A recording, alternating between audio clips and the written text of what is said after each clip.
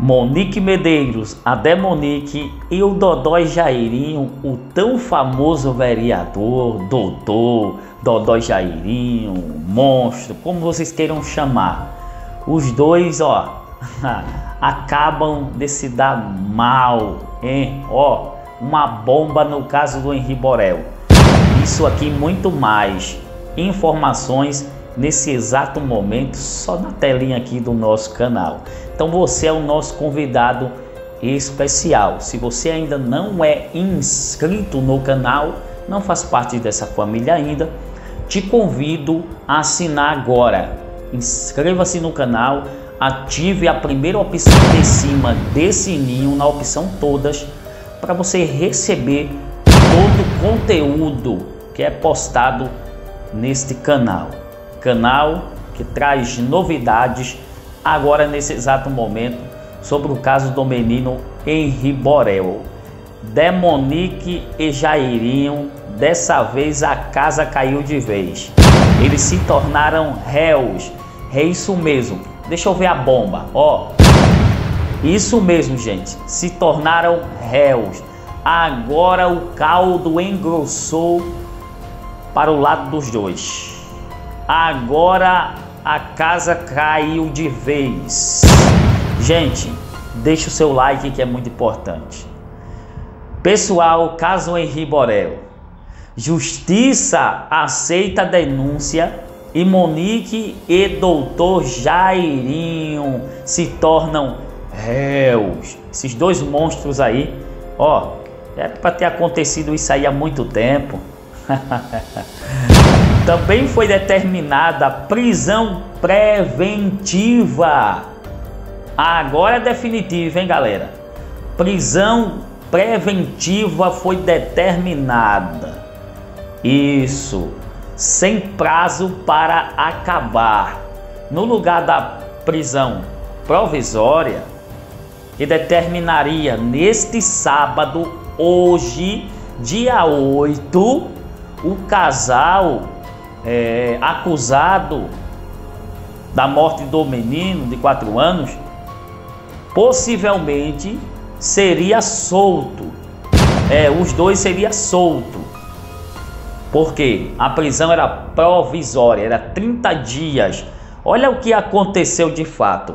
A juíza Elizabeth Machado Louro da segunda vara criminal do Tribunal de Justiça do Estado do Rio de Janeiro decretou a prisão preventiva. É isso mesmo que você ouviu. Comemore. Pode comemorar. Compartilhe esse vídeo em sinal de comemoração. Espalha para todo mundo.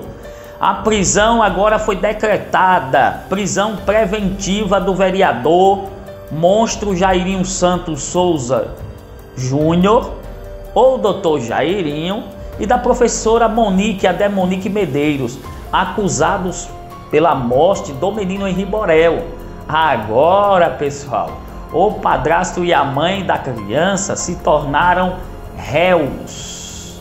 Caso a prisão preventiva não tivesse sido decretada com urgência, tanto o Dodói Jairinho, o doutor Jairinho, quanto a Demonique e a Monique Medeiros poderiam ser soltos neste sábado 8, quando o prazo de suas prisões temporárias chegariam ao fim. Isso mesmo, eles estavam presos ó, temporariamente, tá? Então era prisão temporária, não era é, preventiva. Segundo a magistrada, a liberdade de ambos pode resultar em um possível coação contra testemunhas da investigação. Na decisão, ela argumenta o seguinte: abre aspas.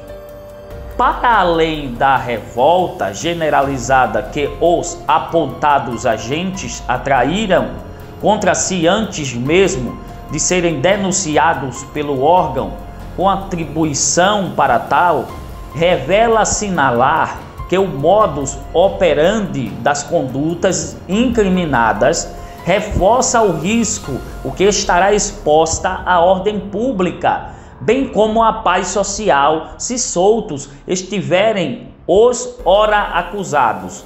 Fecha aspas.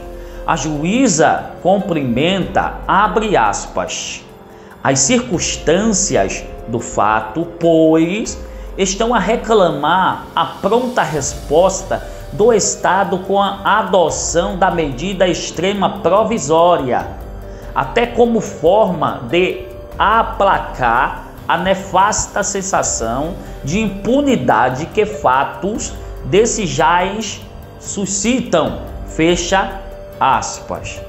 A Polícia Civil, gente, do Rio de Janeiro, apreendeu, é, apreendeu várias coisas desses dois monstros.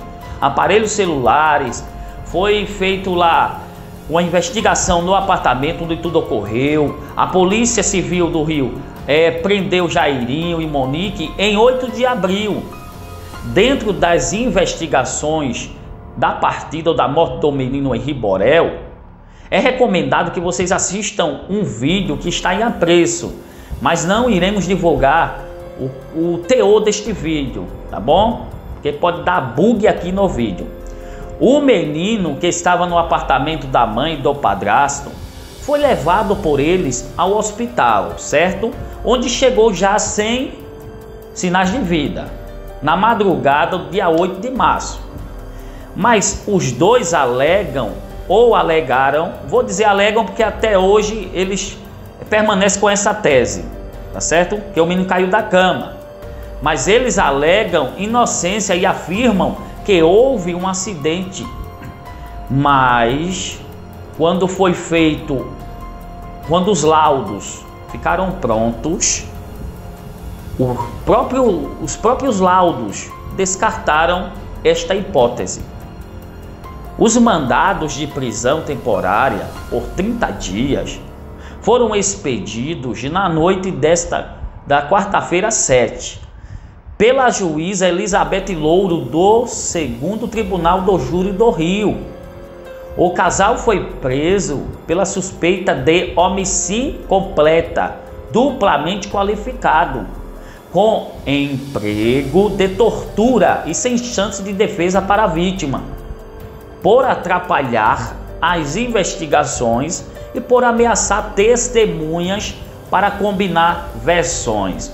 Olha só, o Jairinho, né, esse monstro, começou naquele momento em que as, as investigações estavam em andamento, como está ainda. Mas o que é que acontece? Jairinho começou a ameaçar as testemunhas junto com a Demonique. Qual o objetivo, qual o propósito das ameaças? Que as testemunhas ficassem, ó, pianinhas, caladas. E eles ainda ensinaram as testemunhas como elas deveriam falar e relatar o acontecimento para a polícia, para o delegado. Só que o delegado Damasceno, Henrique Damasceno, é um delegado com muita, com muita, isso mesmo. O cara é especialista, o cara é de muita propriedade. O delegado não acreditou nas versões contadas. Por quê? Porque o delegado, com a sua experiência né, neste ramo, ele começou a, ó, a focar em certos pormenores, pontos específicos é, dos depoimentos de cada pessoa.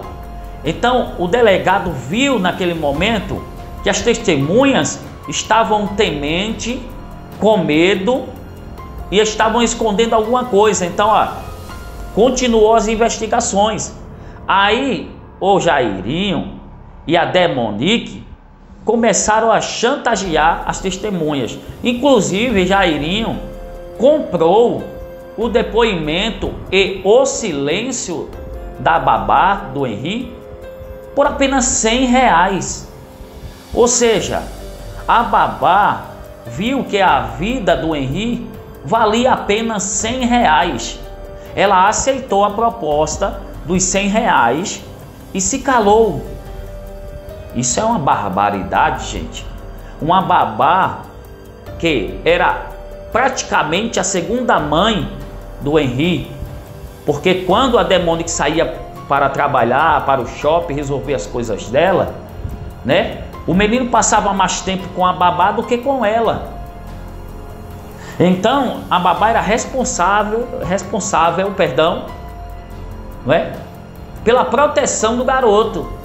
Na ausência da Demonique, era ela que tinha que proteger. Mesmo que a própria mãe não protegesse, mas ela como um ser humano, que não sei se ela também tem filho, ela sentir na pele, ela não fez, ela foi comprada por 100 reais e ela aceitou, aceitou. No mesmo dia da prisão, o delegado Henrique Damasceno afirmou com toda certeza de que o vereador doutor Jairinho foi o autor das agressões. Olha só, gente, que revelação bombástica. O delegado já sabia e ele afirmou com certeza, de certeza, que o culpado era o doutor Jairinho que ele sim foi o autor das agressões que tirou a vida do menino. E também que a mãe do garoto, mãe biológica, essa Demonique Monique Medeiros, ela foi conivente. Ou seja, ela sabia de toda a verdade. Se ela sabia da verdade, ela teria que proteger o seu filho. Ela teria que denunciar e até uma delegacia e falar com o delegado e pedir também uma medida protetiva e, e se afastar desse cara. Mas não, mesmo ela sabendo de todas essas atro atrocidades que esse cara, esse monstro fazia com o garoto, ela foi conivente, ela escondeu a verdade. Ela preferiu, deu prioridade, preferiu dar prioridade a um cara desse, um monstro, do que o próprio filho. Agora, uma pergunta que não quer calar: por que essa mulher resolveu ter filho? Por que essa mulher resolveu colocar um menino tão lindo, um garoto espetacular, com muita inteligência, um QI elevado, saía do normal? Por que ela colocou no mundo? Para que propósito? Que propósito? para cometer isso aí, um absurdo como este? Trocar o garoto por um cara que ela mal conhecia e agora ela tá, ó, perna para quem que quer, tá caindo fora. Então eu não acredito que na situação que eles estão, essa Demonique continuará com esse cara não, viu? Porque ela estava colocando pocando para cima do doutor Jairinho e Jairinho tá devolvendo com a mesma moeda. Porque se não fosse assim, os dois estariam sendo defendidos pelo mesmo advogado, mas não, Demonique contratou três advogados, dois homens e uma mulher, enquanto Jairinho permanece com o mesmo advogado. O advogado que também está sendo investigado por fazer com que as testemunhas mentissem também em depoimento. Então imagine, este advogado do Jairinho é tão bandido quanto ele próprio. O cara fez uma reunião com o Dodó Jairinho para tentar a, encontrar uma solução para fazer com que as testemunhas mentissem, mentissem em, seus depoimentos. Então, qual é a notícia espetacular do dia? é que agora eles estão presos preventivamente. Eles não têm prazo de validade. Eles vão continuar presos. Agora não tem negocinho de só é 30 dias, só é 90 dias, só é 120 dias, não. Eles vão ficar presos. Presos. Então a prisão que era provisória agora passou a ser preventiva foi determinada a prisão preventiva. A justiça aceitou denúncia e Monique e Jairinho, ó, se tornaram réus.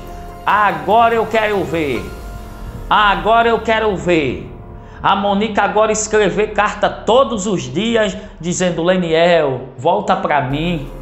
Leniel, me perdoe. Se eu pudesse, eu deixaria tudo, riqueza, mansão, dinheiro, tudo, e moraria nos fundos da casa dos meus pais, é, para ter nossa família de volta. Leniel, gente, agora a Monique deu para ser romântica. Ela agora está no romantismo só.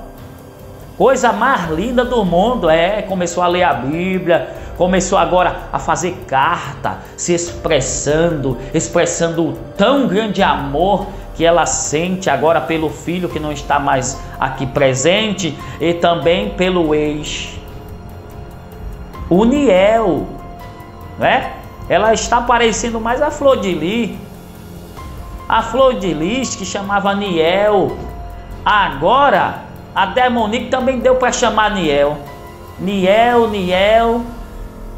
Chamando Leniel de Niel com intimidade, na carta ela diz: Ó, oh, você me perdoa, Leniel. Como eu queria fazer tudo novo, ou seja, reconstruir, né? Construir nossa família novamente. Oh, pelo amor de Deus, essa mulher tem problemas. Essa mulher tem alguma coisa de ruim dentro dela que não existe isso. Depois de toda a, atrocidade que essa mulher fez, agora ela vem com esse negocinho aí. Leniel, Liel, te amo, isso aqui. Pelo amor